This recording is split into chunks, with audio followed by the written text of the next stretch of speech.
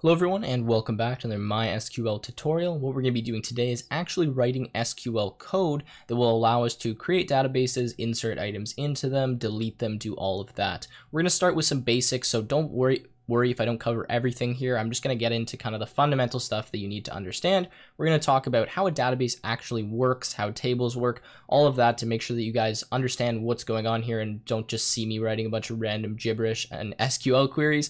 And then in future videos, we're going to get into some more advanced stuff like linking tables together, talking about database design, which is a huge part of this and you guys are going to see. And then we'll go into kind of like a maybe final project-ish kind of thing or an example illustrating how we can link maybe a larger database system together and what the design for that should be. So anyways, let's go ahead and get started. What I want to do to start is actually just discuss um, what how our database works and what it is. So first of all, we need to kind of understand what a database is and then tables, rows, columns, because those are going to be the words that I'm using throughout this series here. So in MySQL, we have something called a database. Now, this is going to be my database. We'll just call it database. Now, excuse my handwriting. It's hard to write on this tablet, and I also just have really messy handwriting. Um, so inside of a database, we have something called tables. Now, tables are kind of like a specific piece of information or like some kind of object. So you can almost think of them as like classes per se, if you're thinking about it in a code sense. And I'm going to, you know, do some examples to help you guys understand here. So in our database, we can have multiple tables. There's no limit to the amount of tables we have. So we have this database, it contains tables, and inside our tables, we have something called rows and something called columns. The first one I want to talk about is columns. So the columns have what we call headers, and these headers are kind of the pieces of information that's stored in this specific table. So let's say we have two tables, and maybe this table we call it person, and maybe this table we call it food, or something along the lines of that, okay?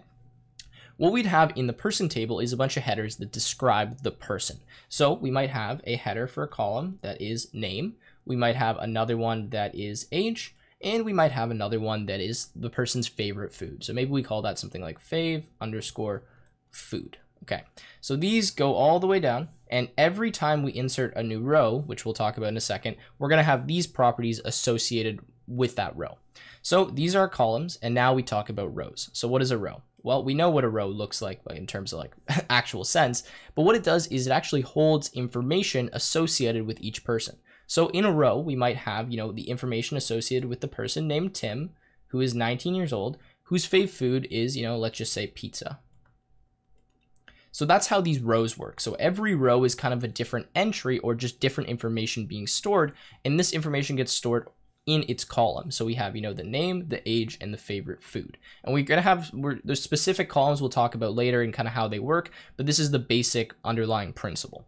Now, food is another table. So uh, maybe in the food table, you know, we'll have three columns as well like this. The first is probably going to be, you know, the name of the food. Maybe we'll have like the class, like if it's a fruit, if it's a vegetable, if it's like a fast food or snack or something. And then maybe we have like calories or like something along the lines of that in terms of the health facts of it. So, you know, same thing in here. We could have an entry for food. Maybe the entry is pizza, like this. The class, I'm going to say like junk food. Um, maybe that's not accurate, but that's okay. And calories, I don't know. How many calories is a pizza? Like 400 or something. So we'll do that. Now, when we have these databases and we have these different tables, what we usually end up doing is linking tables together. So for example here, I've just put kind of like pizza in my fave food, but what I would actually probably want to do is link this favorite food to the column food and the entry or not the column the table food that has you know the entry pizza. So what i can do is i can have like this entry here linked inside of favorite food. So that way, when I want to access information about Tim's favorite food, I simply go to this column here or go to this row in this table. I find, you know, the name is pizza, the class is junk, and it's 400 calories. And these are kind of the way that we link tables together. We're going to get more advanced later, but the basic principle here is we have a database. There's tables inside of a database. Each table has rows and columns, and we can link those rows and columns together in a specific way. Okay, so now that we understand that, let's actually start writing some queries and talk about how we can create tables, create databases, and all of that. All right, so this is where we left off in the last video where we created a connection to our database and we created this cursor object. Now I forget if we did any SQL queries, but I'm gonna go through them again here. What I'm gonna do now is show you some basic queries and some basic commands to do kind of what I've just been showing you in that drawing example, creating a table, creating some columns, and then adding some entries in. We'll start basic, we'll stick with that, and in the next videos, we'll go to altering the tables, talking about some more advanced properties of the database, linking tables together, and all the crazy stuff that you can do with MySQL. So let's go ahead and get started here. The first query we need to do is something that can create a table for us. So what I'm going to do is say my cursor dot execute, and inside here I'm going to put a string, and this is where I'm going to create my first table. Now to create a table is pretty straightforward. We type create table, the name of the table, and in this case, we'll stick with the previous example of just having like a person be one of the tables. And then what we do is we put brackets and we list the name of the columns and the type that they're going to represent or that they're going to hold. So similar to Python, how we have variables that can hold integers, booleans, um, bits, strings. We have similar types here inside of MySQL, but they do have uh, different names. So I'll go through some of them. So the first thing that we're going to need for our person is a name. So what I'm going to do is I'm going to say name, and then I'm going to write the type that the name is going to be. So the type of information we're going to store. Now in this case, this is actually var char, and inside of here you put the length of the variable length characters that you could possibly have. I'll explain this in a second. So we have a person name, and the type is variable characters, which essentially means string up to the length of 50. So that's what this means when you do variable character. That's probably one of the most used um, types in MySQL. So we'll do that. We'll say name varchar 50, which means we're to have a column, you know, 50 length is the max. The next thing we need is an age. So we're to have an age, and you could probably guess what type this is to be it's going to be an int. Now, inside of MySQL, we have all different kinds of data types that we can use. We can use small int, we can use tiny int, we can use big int, we can use int, we can use um, like large int. So what I'm going to do is actually use something called small int, which means that our values will be represented by a, a smaller amount of bytes, uh, I guess, yeah, bytes or bits in memory, which is good because age is typically not going to be, you know, more than 100, especially if we're talking about, I mean, people in this century. So we can use a small int comfortably and know that within the range of whatever we're going to store here, that's fine. Because small int allows us, I believe, to save things that are between negative 32,000 and 32,000. Now this brings me to my next point. We have small int, but we're never going to store negative numbers. So what I can actually write here is un signed like that, which means that this number here is unsigned. So we don't need to carry a bit to store the sign because we know that it's always going to be a positive number. So we'll do that. Okay, the next thing that I'm going to add here to my person, uh, we had food. I'm going to leave that out for now, but I'm going to add something called person ID, and we're going to talk about in detail what this is. So person ID, and the type of this is going to be an int. We're going to make it regular int, and this is going to be what we call our primary key. Now, you probably haven't heard of primary key before unless you've worked with databases. What a primary key is, is a unique value associated with each row in the table. So for example, we might have two people that, you know, are coincidentally have the same name and the same age. So how can we differentiate between them? Well, we need something called a primary key, which will be different for every single person, and we'll call that the person ID. Just like, you know, maybe we have a SIN card, or I, I think that's what they call it in the States, SIN, social insurance, maybe that's Canada, I don't know. Um, whatever it is, we're going to have, you know, that. So we need to have some unique number to identify each person, and that's what this is going to be our person ID. So when you make it a primary key, that essentially means that every time you add an entry in, this key will be generated and will be different. And that brings me to my next point, which is something called auto underscore increment.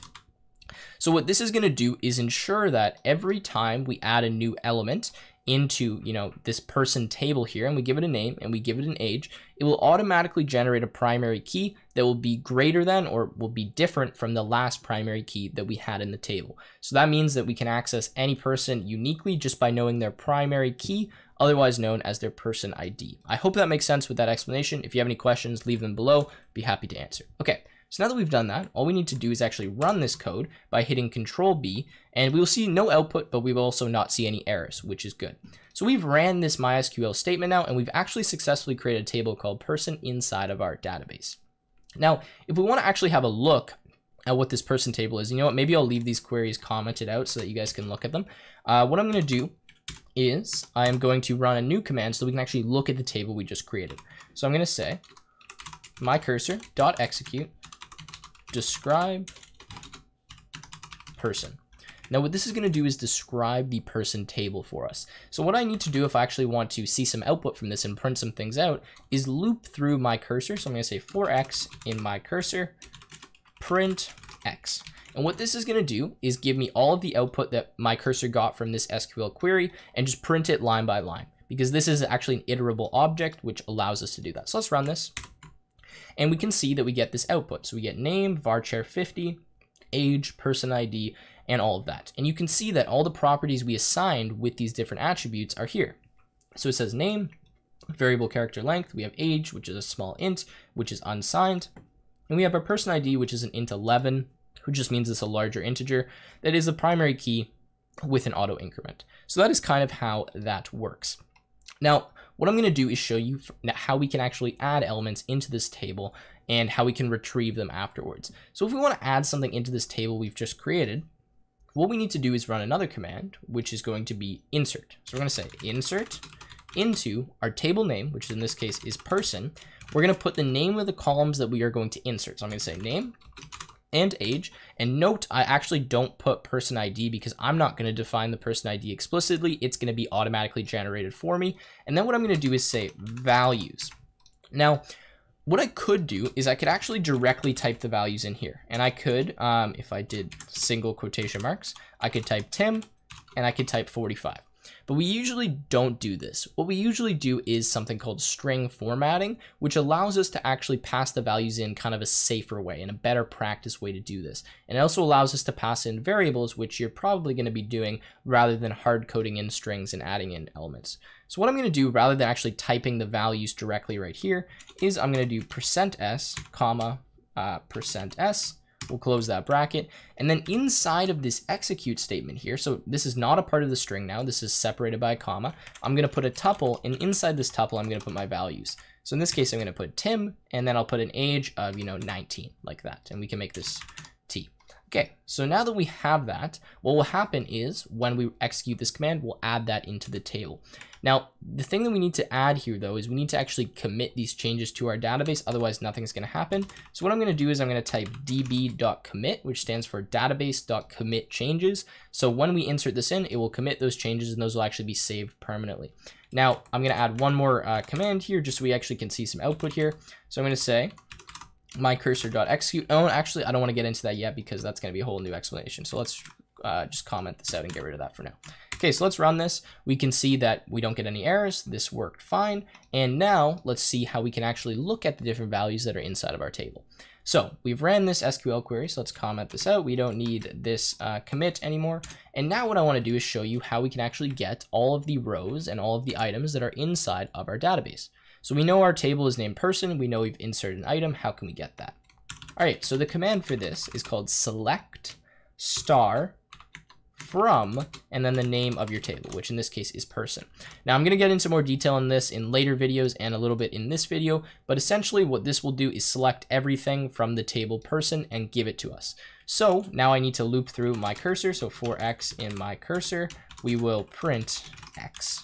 So let's run this and we see we get Tim 191. So notice that the primary key starts off out 1, and if I actually add another element in, that primary key will be 2. And let's show you what happens when I add another element. So let's, you know, uncomment this.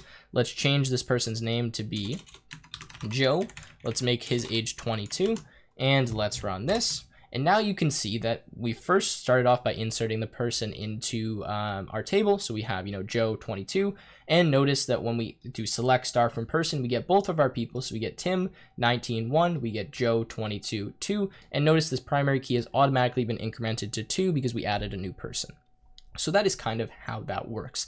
Now I'm going to cut the video here because there's a lot more to talk about with these SQL queries and I don't want to go on for half an hour in the first video, but in later videos and the next video, we will talk more specifically about the select statement and some other things that we can do in some queries we can use on our tables.